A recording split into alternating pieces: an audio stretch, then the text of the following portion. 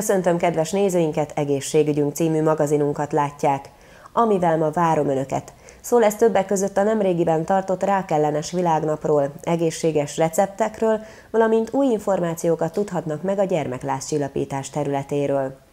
14 éve tartják számon a rákellenes világnapot. Ehhez különböző programokkal csatlakozott az Egészségfejlesztési Iroda Flash központban. A szervezésben az Újjáéledés Alapítvány is segített. A vendégek információt kaphattak a daganatos megbetegedések Moson-Magyaróvári adatairól, valamint érdekes előadásokat hallgathattak meg. Gyülekeznek a sportolni vágyók a rákellenes világnapi rendezvényen. A regisztráció után közös futásra invitálták a vendégeket, hogy felhívják a figyelmet a rendszeres testmozgás fontosságára. Nagyon jól elégeti a zsírt, és nagyon egészséges, mert bárhol lehet futni, de legfőképpen kint, és hogyha kint futunk, akkor az már is egészséges, és hát azért is vagyok itt, hogy képviseljem a Moson Magyaróvári Atletikai Klubot. Alapból egészséges, és jó kikapcsolódás, és jó nagy vádliaim lesznek hátul. A Karolina Kórház vonzás körzetében 70-75 ezer lakos él. A 2013-as adatok szerint a fekvőbeteg osztályokon közel 10 ezer beteget látott el az intézmény. Átlagban ennyi évente a kórház betegforgalma. Kezdte meg előadását Bodnár Mária főorvos.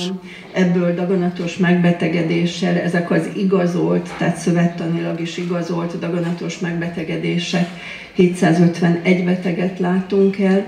Hazánkban a szív- és érrendszeri megbetegedések mögött a második vezető halálozási ok a daganatos megbetegedés. Ezért tartja fontosnak a hasonló figyelemfelhívó napokat az egészségfejlesztési iroda. Elsősorban a megelőzésre szeretnénk nagy hangsúlyt fektetni, az előadásainkat is erre élesztük ki, és ezen kívül, aki érintett, vagy családtagja érintett ebben a betegségben, megtudhatja itt, hogy kihez fordulhat segítségért. Az emberek sokszor tabuként kezelik a rákkal kapcsolatos témát, egészen addig, amíg nem érintettek benne. De sajnos sok esetben az is előfordul, hogy maguk az érintettek hallgatnak a problémájukról. Erről a betegségről és erről a problémáról egyre többet kell beszélni azért, hogy minél többet tudjunk segíteni ezeknek az embereknek. Tehát az elhallgatás az nem megoldás, és ezért egy nagyon jó alkalom egy ilyen napot megrendezni, egy ilyen apropóból, és akkor nagyon sok érdekes előadás és sok információ információt lehet begyűjteni. A hozzátartozóknak és a barátoknak nagy szerepe van a gyógyulásban. Jó, ha minél többen állnak az érintett mellett, ám az kifejezetten fontos, hogy egy ember mindig támaszt nyújtson a legnehezebb pillanatokban is. Azt gondolom, hogy magam példájából, hogy kicsit gyerekszintre süllyed az ember, és nem tudja magát képviselni. És egy családtag, aki odafigyel, hogy mikor merre megyünk, mikor mit kell csinálni, az nagyon nagy segítség. Nem szabad tehát elzárkozni a témától és a segítségkéréstől, a rendszeres szűrések pedig elengedhetetlenek a betegségek elkerüléséhez. A rákellenes világnap mellett a készigéni napjára is készülnek a városban. Igaz, hogy ez csak májusban lesz, de már most érdemes odafigyelni, hiszen egy rajzpályázatot írtak ki ezzel kapcsolatban, amelyre április 25-ig lehet jelentkezni. A technika szabadon választott, a téma pedig, hogyan kerülnek a kórokozók a kezünkre, miért kell kezet mosni. Bővebb információ a képen látható e-mail címen található. Most pedig egy összeállítás az egészséges táplálkozásról. Kolléganőm az Óvárosi Kávéház és étteremben járt, ahová ételkostolót szervezett az egészségfejlesztési iroda.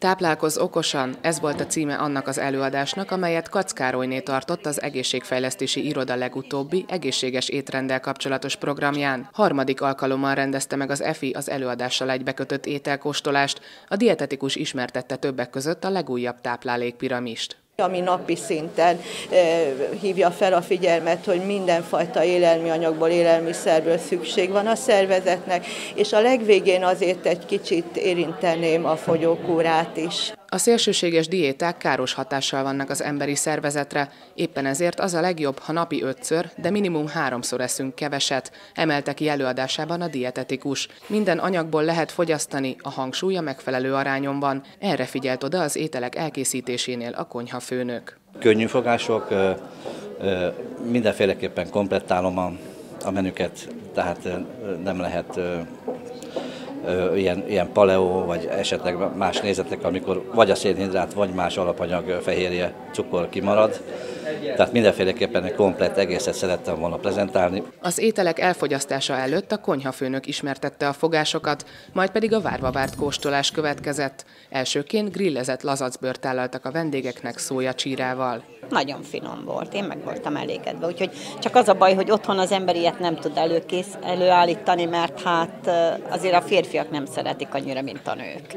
Az első két alkalomnak nagy sikere volt, ezt bizonyította, hogy a harmadikon is teltház volt. Próbálunk kicsit mást hozni, hiszen akik már jártak az előző programokban, azok ne csalódjanak, ne unatkozzanak, tehát mindegyik egy kicsit más, hiszen más az étterem arculata, más az étterem hangulata, hozzáállása az egészséges táplálkozáshoz, más a főszakás. A második előétel sárgarépás mangós krémleves volt grillezett lazackockával. Önmagában a sárgarépa leves nem csábíte, de mangóval valami nagyon finom és izgalmas ízt alkotott a sárgarépával, úgyhogy nekem nagyon ízlik. Mindemellett fokhagymás tintahalat tálaltak citromos bazsalikomos salátaágyon, főételként pedig többek között főt marhahúsos bevert tojást tehettek a vendégek céklás gofrival. A visszatérők mellett volt olyan is, aki most először vett részt az EFI programján.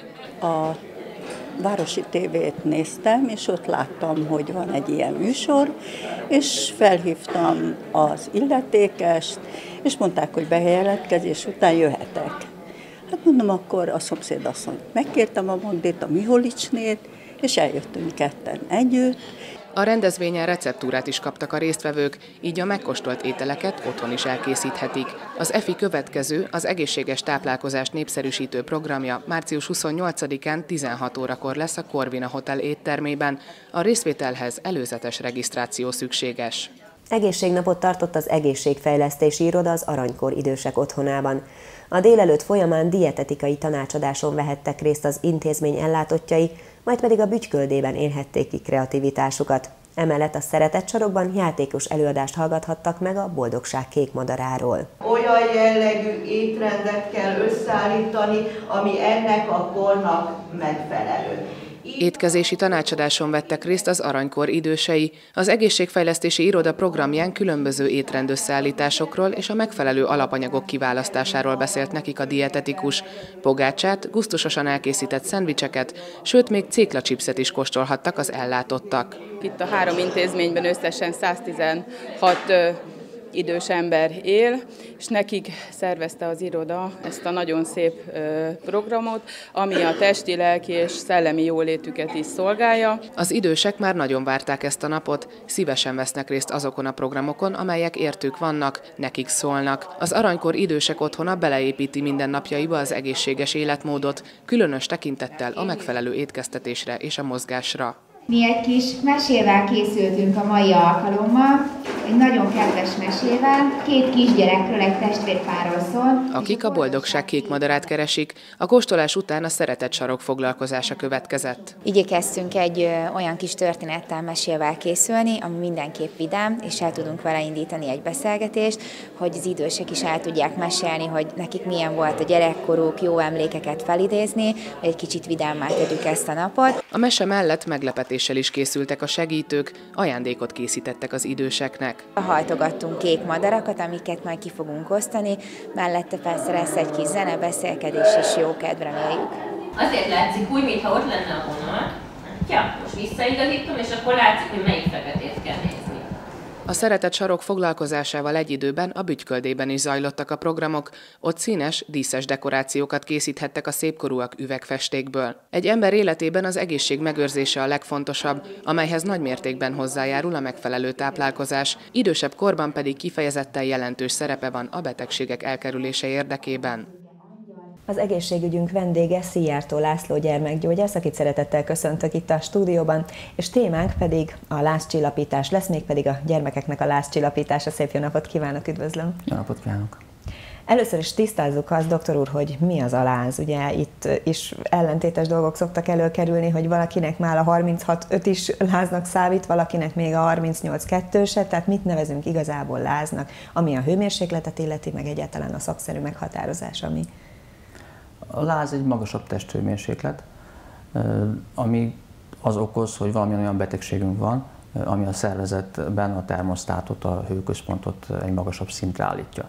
és akkor a normál 37 fokos hőmérsékletről a testhőmérséklet megemelkedik, és eléri azt a szintet, ahová a betegség általában fertőző betegségek, főleg gyerekeknél sima megfázásos betegségek okozzák ezt leggyakrabban, beállításra került. Erről nagyon sokat lehet olvasni, és szakkönyvekben is időnként van eltérés. Igazából most már, amióta tudjuk, hogy a lázzal hogy kell helyesen bánni, nincs itt nagy jelentőség, hogy most 38,5 vagy 38 fokot húzok meg határnak, és az alatt hőemelkedésről, a fölött pedig lázról beszélünk.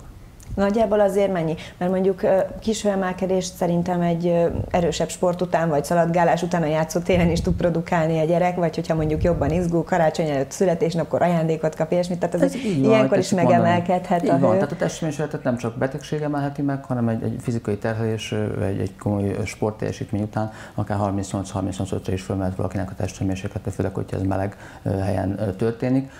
van ezzel probléma is, tehát például nyári nagy melegben komoly sörmeccsek vagy, vagy futballozás, intenzív futás, maratoni futás után akár 39 fokos testhőmérsékletet is el lehet érni. Tehát, hogyha az a kérdés, hogy, hogy hol kell már aggódnunk, vagy mikor kell felfigyelnünk a testhőmérséklet változására, akkor azt gondolom, hogy a végbélben csecsemőknél mérve 37 5 fölött, hónajban vagy máshol mérve pedig hát 37 fölött beszéltünk már emelkedett testhőmérsékletről, és ilyenkor el kell gondolkozni, mitől volt. Akkor az a lényeg, hogy mi az ok, nem az, hogy éppen mennyi a hőmérséklet. Igen. Mi minden okozhatja egyébként ezt a lázat, vagy ezt az emelkedett hőmérsékletet? Most nézzük azt el, vagy tekintsük attól el, hogy sokat futott, vagy izgult, vagy ilyesmi, tehát betegségekre gondolok. Hát én mindjárt ugye elsősorban a gyermekek betegségére koncentrálnék most, a felnőtteknél ott sok minden más betegség is van, ami, ami okozhat lázat. A gyermekeknél a leggyakoribb ok az egy, általában egy egyszerű és zömébe veszélytelen légúti vagy gyomor-bél fertőzés, tehát egy vírusos vagy bakteriális fertőzés, ami a láz oka, de időnként súlyos betegségek is okozhatnak lázot, ezek is általában fertőző betegségek, de vannak reumás típusú betegségek gyermekeknél, amik jóval ritkábban fordulnak elő, vagy akár daganatos betegségek, amik szintén okozhatnak lázat. De azt gondolom azért már gyakor, gyakrabbi lázat okoz, tehát mondjuk nem egy egyszeri esetről van szó, tehát az feltűnőbb egy szülőknél, szülőnél, hogyha mondjuk valakinek ilyen daganatos betegsége. Hát ha valakinek ismer betegsége van, ott nyilvánvalóan, hogyha van lázok, el kell gondolkozni, hogy az mi okozza a daganata, vagy pedig egy, egy infekció, amit a daganatos beteg kapott meg. De általában, hogyha a gyermeknél a szülők lázat, magasabb hőmérsékletet észlelnek, akkor meg kell nézni, hogy milyen állapotban van a gyermek,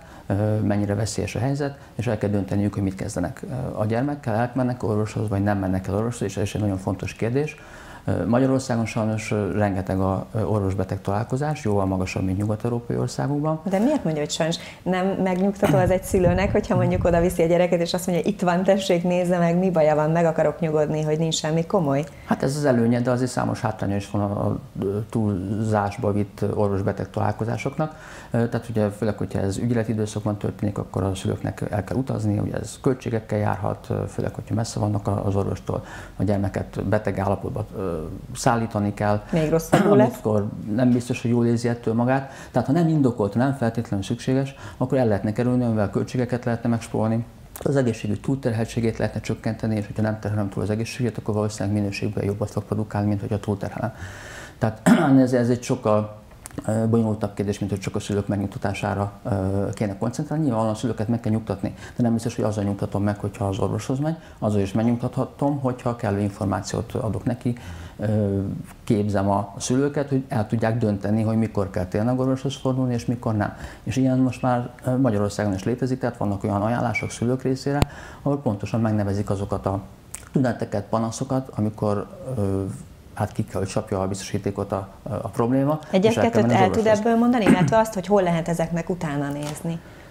Hát a lázzal kapcsolatban, tehát ha a gyerek lázas és. Tehát ha csak lázas, az még nem biztos, hogy indok, hogy rögtön orvoshoz szaladjunk, de ha lázas és nem iszik, a heves fájdalma van, ami nem szűnik, ha nehezített a légzése, fullad, ha testén vérzések jelentkeznek, ha nehezen ébreszthető bágyat nem reagál, nagyon sokat hány, nagyon komoly hasmenése van, ami többször jelentkezik. Tehát több ilyen dolog van, vagy hát három hónaposnál fiatalabb, hat hónaposnál fiatalabb csecsemőknél ott mindenképpen célszerű az orvoshoz fordulni egy lázas betegség esetén. Azért ők még ugye nem tudják megmondani, vagy jelezni, hogy éppen mi fáj, vagy hogy Igen, vannak. tehát meg ott gyakrabban fordul elő, hogy, hogy olyan betegség van, amit tényleg érdemes időben elkezdeni kezelni, mint a, a idősebb gyermekeknél. Hogy hol lehet megtalálni ezeket a leírásokat? Részben az Országos Gyerekgyógyászati Intézetnek a honlapján van erre, ha jól tudom, egy, egy konkrét szülőknek szóló tájékoztató.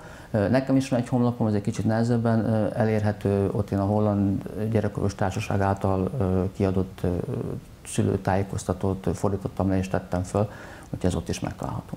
Akkor nézzük az egyszerűbb eseteket, mert azért szerencsére ezekből van több. Lázas a gyerek, lázcsillapítás kell, nem kell jótékony elláz, ugye ezzel kapcsolatban is megoszlanak a vélemények. Doktor úr szerint mi a helyes megoldás? Hát itt egy nagyon nagy lemaradás van Magyarországon, tehát én 18 éve Hollandiában is dolgozom, és ott szembesültem ezzel, hogy, hogy amit Magyarországon csinálunk, az, az erősen elavult. Ez kb. 30 éve lehet tudni, hogy a láz nem veszélyes önmagában, nem káros, nem csapódnak ki a fehérjék, nem lesz a szívének, az agyának, vagy a tüdejének baja, ha a gyermek lázas.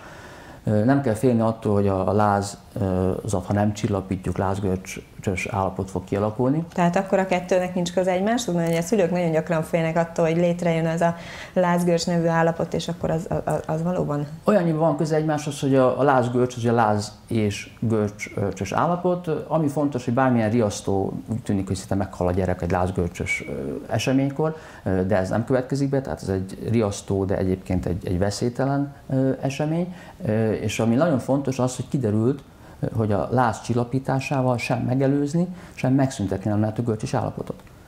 Tehát ez most már a szakkönyvekben évek óta vagy évtizedek óta így szerepel, a lázcsillapítás gyakorlatilag nem tartozik hozzá a lázgörcs megelőző vagy a terápiás kezeléséhez. Egészen másként. Akkor miért csináljuk még mindig?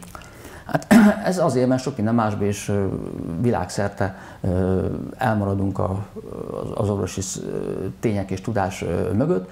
Elsősorban az, ami a félelem. Tehát az évszázadok óta a lázhoz és a lázas betegséghez kapcsolódó szorongás, félelem az, ami motivál bennünket és a szakembereket is, hogy változatlanul csillapítani akarják a lázat. A láz tehát azt most már biztosan tudjuk, hogy egyáltalán nem káros, sőt, azt is tudjuk, hogy hasznos is lehet, tehát vannak olyan kutatási eredmények, amik azt mutatják, hogy a lázas állapot javítja az immunrendszer működését, gátolja a kórokozók szaporodását, és vannak olyan vizsgálatok, amik egyértelműen kimutatták, hogy a láznak semmilyen káros hatása nincs, illetve nincsenek olyan szakorvosi vagy orvosi szakmai adatok, publikációk, amelyek bizonyítanák, hogy a láznak bármilyen káros hatása lenne.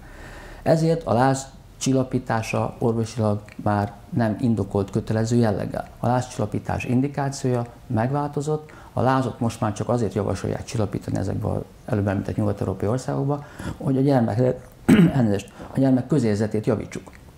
Tehát a láz gyakran járhat fájdalommal együtt, mert fájdása van, fülfájása van a gyermeknek, vagy a nátha miatt egy, egy kellemetlen közérzete van, és ha a emelkedett testhőmérséklet mellett rosszul érzi magát a gyermek, ha láztól is rosszabbul érzi magát, akkor célszerű a lázát csillapítani, de azért, hogy jobban érezze magát. Akkor nézzük a különböző módszereket. Ugye vannak gyógyszerek, kupok, stb., amiket a gyerekeknek beszoktak adni. Lényegesen, hogy itt milyen tartalmú gyógyszert használunk, mondjuk itt mindenféle név és márka megnevezés nélkül, ugye, mert nem a reklámhelye, Igen. de hogy valahogy össze tudjuk-e foglalni azt, hogy, hogy a szülők mire figyeljenek oda, hogy milyen tartalmú gyógyszert kap a gyerek. Tehát a lázcsillapításra leg, alkalmasabb, hogyha valamilyen lázcsapító gyógyszert használnak, ezt általában a gyerekek jól tolerálják, ezekről tudjuk, hogy biztonságosak, nagyon kevés mellékhatás szokott fellépni, és hatásos készítmények. Többfajta hatóanyag tartalmú lázcsapító van forgalomban Magyarországon is. Itt amire figyelni kell, amit ön is mondott, hogy a fantázia nevek, amik a gyógyszerek mellett állnak, ezek időnként ugyanazt a hatóanyagot akarják, tehát ha véletlenül valaki többfajta gyógyszert próbál adni a lázas gyermekének, akkor előfordul, hogy ugyanazt a hatóanyagot adja, és már olyan dózisban, ami mérgezést okozhat. Tehát én azt javaslom, hogy, hogy mindenképpen, ha lehet, akkor inkább csak egyfajta gyógyszert tartsanak otthon, vagy egyfajtát használjanak, illetve a hatóanyagot nézzék meg, hogyha több fajtát alkalmaznak, de egyébként nem javasolják a lázcsapító gyógyszerek kombinációját éppen emiatt, mert gyakran előfordul, hogy tévedés történik, és mérgezés alakul ki, akár életveszélyes mérgezés is. Nézzünk egyéb módszereket, hogy a lázcsillapító gyógyszerek mellé, meg a kupok mellé még megszokták a gyerekeket hűtőfürdőzni, meg priznicet csinálnak, mert mindenféle kínzásokat elkövetnek a gyerekeken, hogy kicsit jobban ér, jobb legyen a közérzetük, mert így lehet, lehet, hogy még inkább rosszabb lesz. Ezekről mi a véleménye? Tehát kell ez, jó-e, nem jó? 1990, egyáltalán. 1995-ig a, a Magyar Gyerekgyógyász Szakmai Kollégium ajánlásában, és még a mai napig nagyon sok orvos honlapján, vagy kórházak honlapjain szerepel, hogy a magas lázat feltétlenül csillapítani kell, és ha nem sikerül gyógyszeresen, akkor hűteni kell a gyermeket, sőt 39 fok fölött nagyon sokszor javasolták, hogy hűtsék a gyermeket, mert az veszélyes. Ugye ezt az előbb megbeszéltük, hogy ez egy idejét múlt nézet, tehát ilyen veszély nem áll fönn, tehát nem kéne a gyerekeket hűteni. 2011-ben végre a Magyar Gyerekorvostársaság is kiadta az új ajánlását, amivel egy 30 éves lemaradást pótoltak be, amiben már nem szerepel a kötelező hűtés magas láz esetén sem. Én végeztem egy vizsgálatot korábban, illetve más felmérésekből is az derül ki, hogy a gyermekeknek a többsége, és felnőttek, akik visszaemlékeznek ő nekik, és a döntő többsége rettenetesnek vagy kellemetlennek élte meg mind a hűtőfürdőt, mind az egész test törzs vizes ruhás borogatását abból a célból, hogy leütsük a testet. Tehát ha ezt rettenetesnek vagy kellemetlenek élik meg a gyerekek ezt a hűtést, és egyébként orvosilag nem indokolt, akkor gyakorlatilag itt egy intézményesített gyermekkínzásról van szó. Tudom, hogy kicsit durván hangzik, annak ellenére, hogy, vagy hát éppen azért, mert hogy évtizedeken keresztül mi magunk gyermekorvosok is és védőnök, egészségügyi dolgozók, mást ajánlottunk, más javasoltunk, de gyakorlatilag erről van szó. Tehát, hogyha a gyermeket kellemetlen helyzetbe hozom, még fokozom a szenvedését az alkalmazott hűtéssel, akkor nem értem el a célomat, hogy javítsam a közérzetét. Tehát nem kell a gyermekeket hűteni, csak ha ők kérik. Doktor úr, alapvetően új információk derültek ki itt a gyermek lázcsillapítással kapcsolatban. Köszönöm szépen, hogy megosztotta ezt velünk, és a szülőknek meg ugye azt javasoljuk, hogy mindenképpen fogadják meg a doktor úr tanácsát, és figyeljenek oda, hogyha gyerek lázas, vagy csak egy kicsit emelkedett a hőmérséklete. Köszönöm szépen, hogy itt volt. Köszönöm szépen. A gyermekláz csillapítás után most a mammográfiáról lesz szó itt az egészségügyi magazinban. Vendégem a stúdióban Hofbauerné Winkler Ilona, röntgenasszisztens, akit csak szeretettel köszöntök. Köszönöm szép jó napot szépen, kívánok. Jó napot kívánok. Mindenkinek a családjában van ilyen betegség, ha a családjában nem, akkor a baráti körében biztos, tehát a márákról beszélünk, ugye? Mindenki hallott már rémtörténeteket, meg hallott már pozitív kimenetelű történeteket is. Egy kicsit beszéljünk arról, hogy itt Moson Magyaróváron mi a helyzet, mik a tapasztalatok. Hát Moson Magyaróvár nem különbözik semmiben sem az nagyországos átlagtól. Sajnos itt is el lehet mondani azt, hogy a 10%-a az éves, tehát évente, amit találunk, megszűrünk emlő, emlőt mammográfiával vagy ultrahanggal, annak mintegy 10%-a sajnos emlőrákos. Tehát ne, ugyanúgy, mint az országos átlag, tehát az országos átlagban általában 7500-8000 új beteg van évente, és annak is a 10%-a sajnos emlőrákos. Akkor nem vagyunk sem alatta, sem fölötte, sem, nem, tartjuk nem. az átlagot. Teljesen tartjuk az Mi átlagot. lehet ennek az oka egyébként, hogy ennyi emlőrákos van most? Vagy most jobban szűrjük és jobban feltűnő? Vagy... Hát jobban feltűnő mindenképpen. A, szűré, a szűrési hatékonyság az teljességgel közrejátszik ebben. Viszont, hogy mitől, mitől van, hát nem lehet kimondani azt, hogy genetikailag, nem lehet kimondani azt, hogy a környezeti kártékonyságunk miatt nagyon sokrétűek, nagyon egyformák, egy családon belül a, a, a szokások, az étkezési szokások, a genetikai ö, hasonlóságok gyakorlatilag majdnem egyformák, és így ez, ezért ö, családban is gyakrabban előfordul egy azon családban lefelé vagy felfelé menőleg az emlőrák. Sok mindenre szeretjük ráfogni, de én nem mondanám kimondottan egy okot, nem tudnák megnevezni, hogy na, hogy biztos, hogy ettől van. Akkor ez is ugyanolyan összetett, mint minden más Pontosan. hasonló típusú Pontosan. betegség. Beszéljünk egy kicsit a megelőzésről. Hogyan lehet a hölgyeknek odafigyelni, mi mindent kell megtenni azért, hogy mondjuk kisebb eséllyel forduljon elő? Hát nagyon-nagyon-nagyon fontos az önvizsgálat. Az előadásom során beszéltem erről. Bárhol az interneten rá tudunk keresni. Nem kell szakembert kérdezni. De ha életünkben legalább egyszer elmegyünk mammográfiára, akkor a mammográfiás asszisztens is megkérhetjük, hogy mondja el nekünk, hogy milyen módszerrel tudjuk áttapintani a mellünket. Ez a legszimplább, legegyszerűbb, és talán mindenkinek a saját öntudatának a, a legjobb módszere az, hogy megnyugtassuk magunkat, hogy megtapintottuk a mellünket. Tehát öntapintás a legelső és legfontosabb eljárás. És ugye, ha valaki rendszeresen jár a nőgyógyászati szűrővizsgálatokra, akkor ha szerencséje van, akkor a doktor úr is ugye megnézi ezt. Mert ezzel kapcsolatban azért voltak itt negatív tapasztalatok, de jó esetben ugye megnézik ezt a nőgyógyászat. Hát nagyon fontos azt van azért tudni, mindenki tudja azt, hogy bizony a nőgyógyászati rákszüléshez hozzá tartozik a tapintás, az emlő tapintása.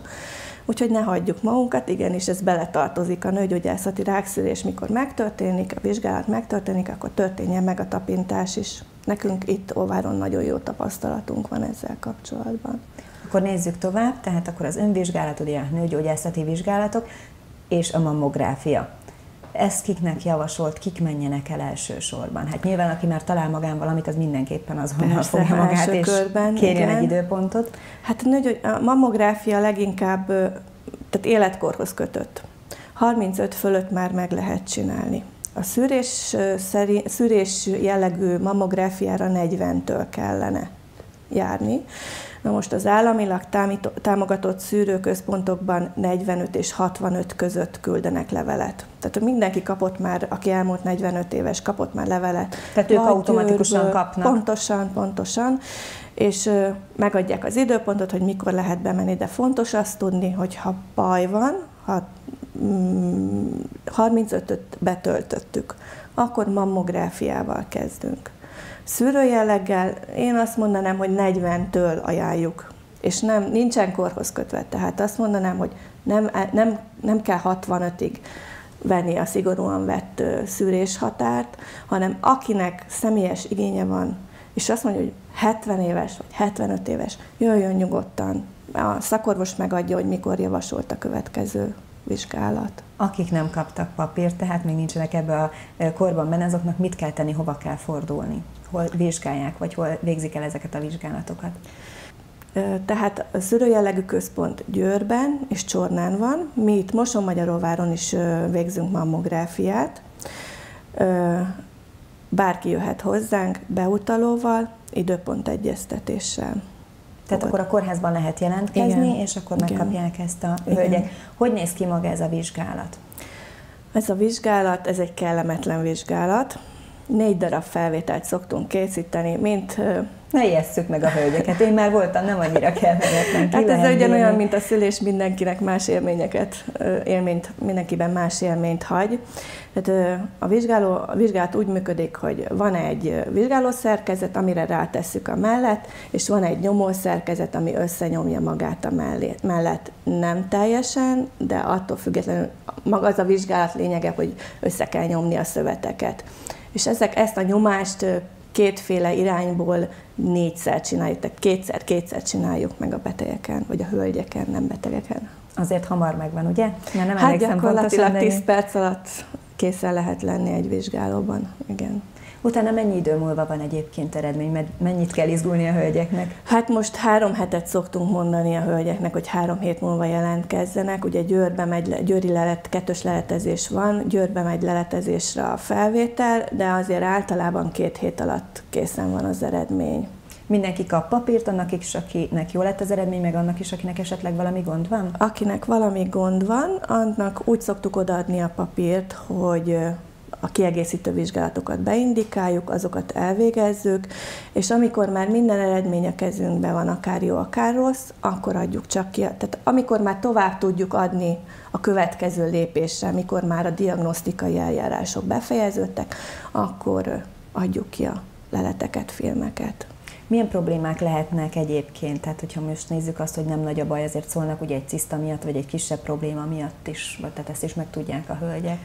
Mindig abból kell kiindulni, hogy nem, nem feltétlenül nagy a probléma. Tehát vissza szoktuk hívni ultrahangvizsgálatra azokat a hölgyeket is, akik még fiatalok és még nagyon mirigyesek az emlőjük, és mert azon nem lát át teljesen a röntgen felvétel. Viszont azt ki kell emeljem, hogy a röntgent nem lehet bizonyos kor fölött megúszni, mert annak van gyakorlatilag szinte papírja arról, hogy, hogy szinte minden emlőbetegséget kimutat. Amikor visszahívjuk a hölgyeket, azért igyekszünk megnyugtatni őket, hogy, hogy most tényleg csak mirigyes a mellők. Nem mondhatjuk azt rá, hogy baj van, mert nem tudjuk, hogy mi a gond.